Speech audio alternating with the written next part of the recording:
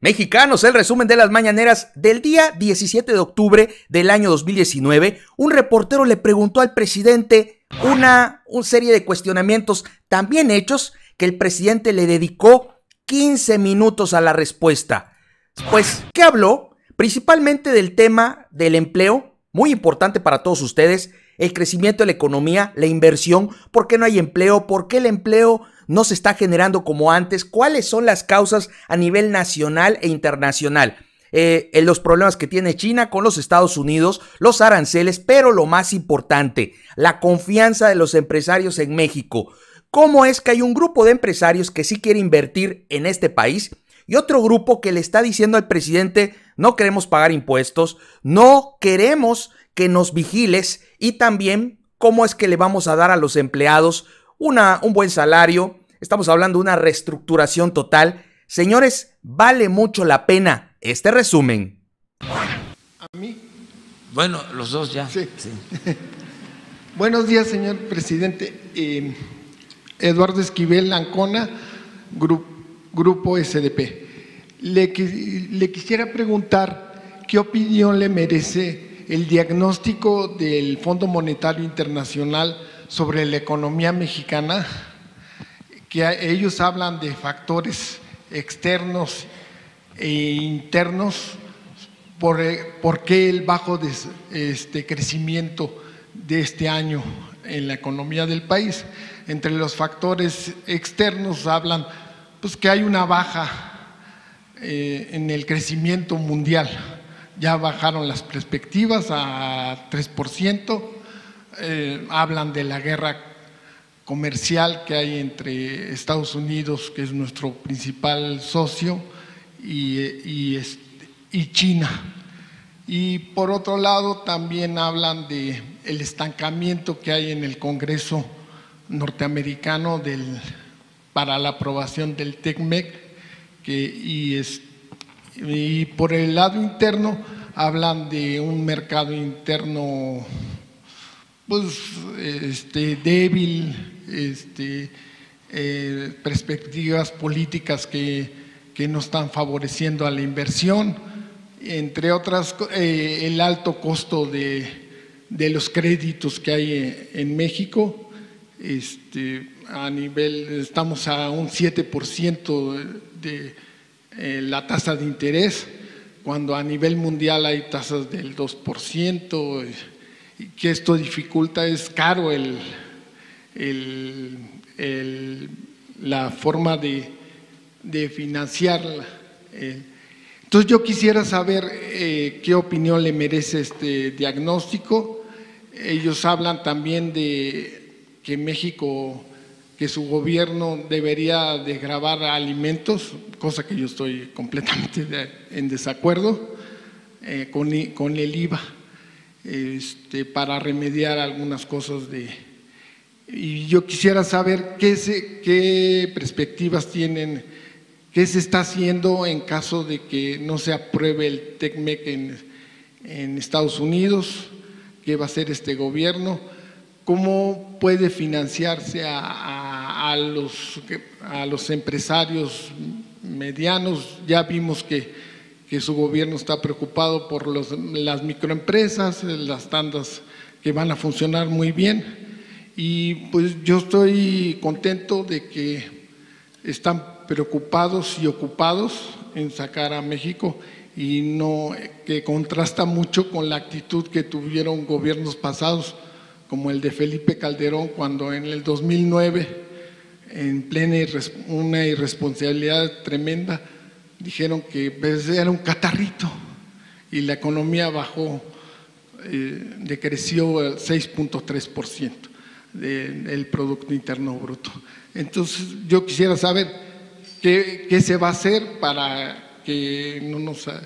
Este, para remediar esto, se va a invertir en infraestructura y qué se va a hacer si no se aprueba el TECMEC. Sí, muy bien tu planteamiento este, en general.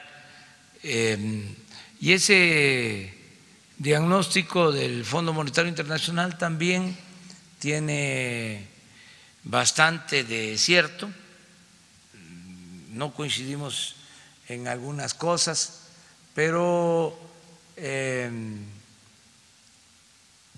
es eh, demostrable que está bajando el crecimiento de la economía mundial, por ejemplo, eso eh, es demostrable. Eh, se está pensando en un crecimiento del 3% mm, en la economía mundial. sin duda ha afectado la confrontación por la política arancelaria entre Estados Unidos y China. También, eh, pues, eh, influye lo de la elección en Estados Unidos.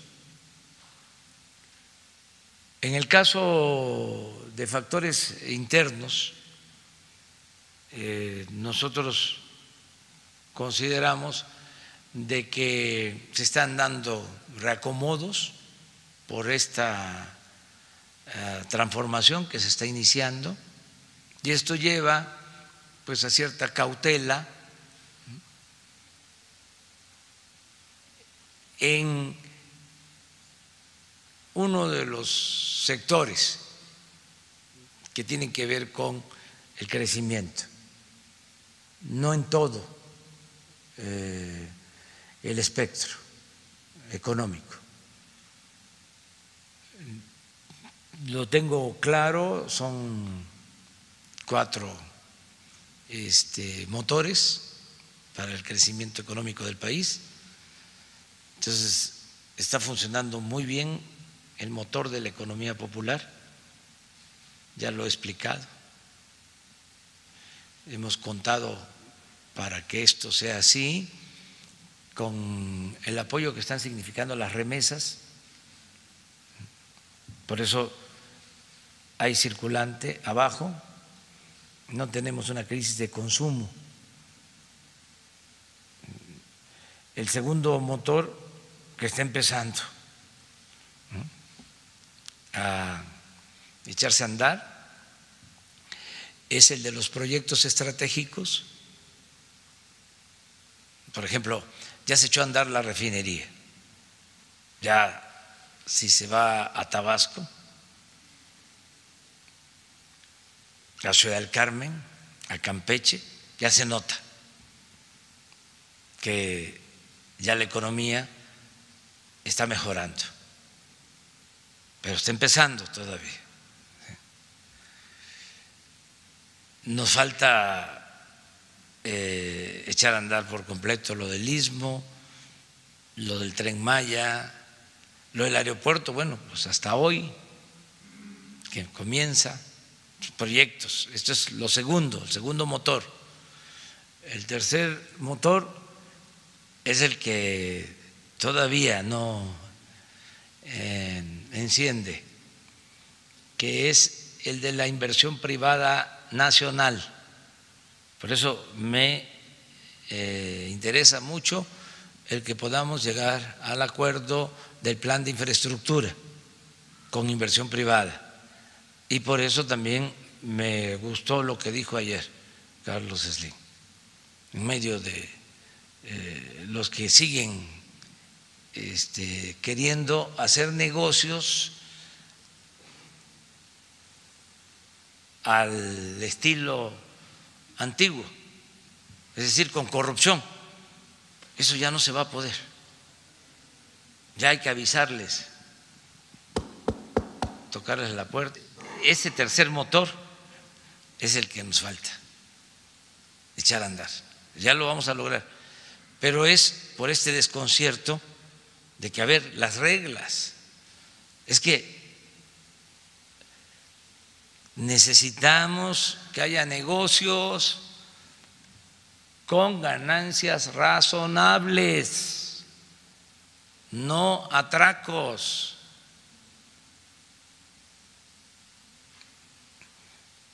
Entonces esto lleva tiempo.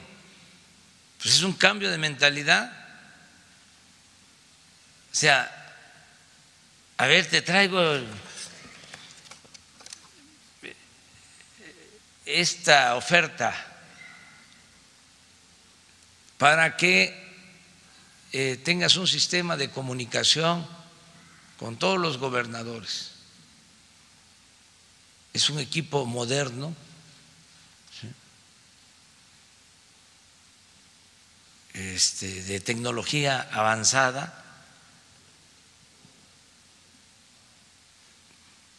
pues son nada más cinco mil millones de pesos.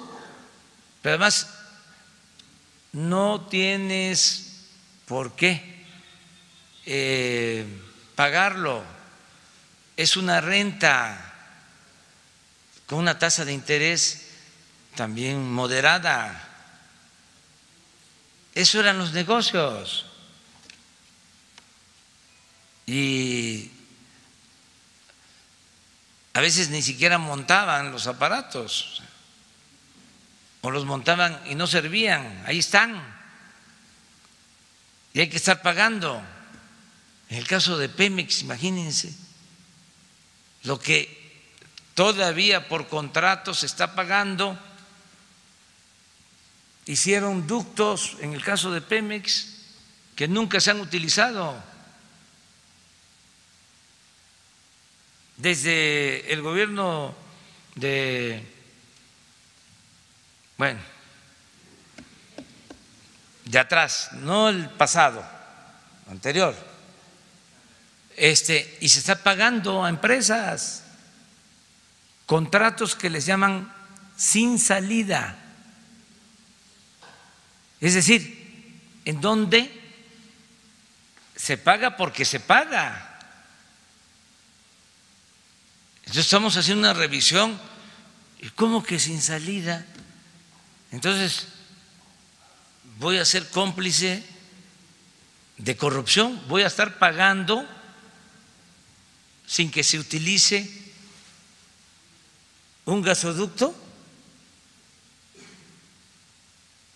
porque el contrato está así. No, ya di la instrucción, todo esto se tiene que revisar y este tiene que haber salida, ¿cómo no? Si es fraude. Entonces, ese tipo de, de cosas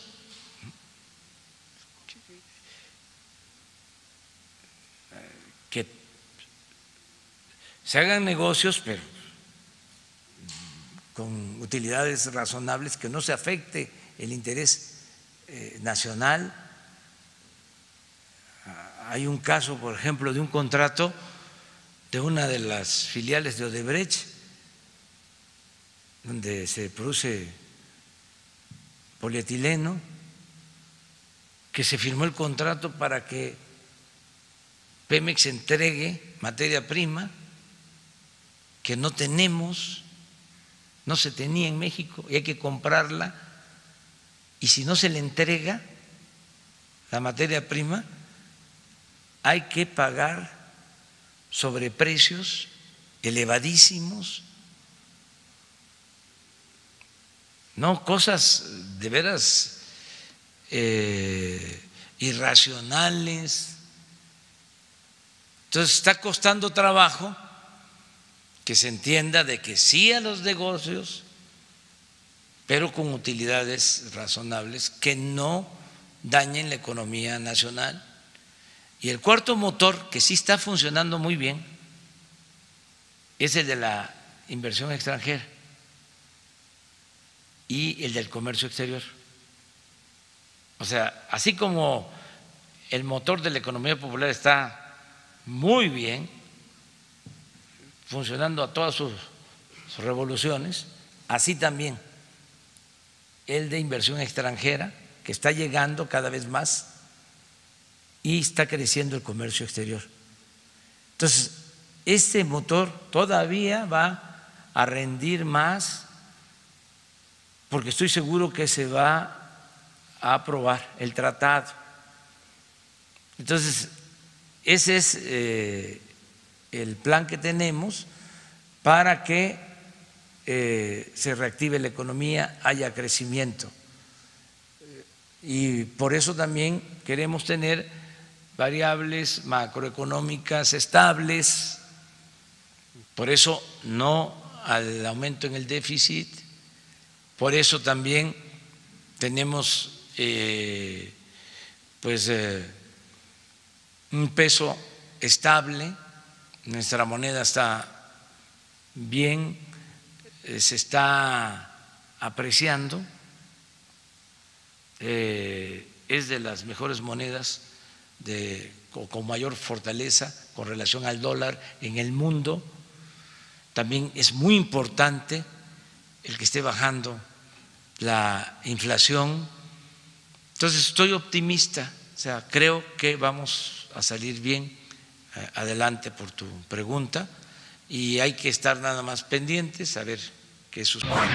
El presidente de México está en una estrella floje con los empresarios, aquellos que son honestos, los que no quieren corrupción, quieren pagar sus impuestos, hay incentivos fiscales para que no paguen de más. Sin embargo, hay otro grupo que estaba acostumbrado y como dice el presidente también tienen intereses políticos.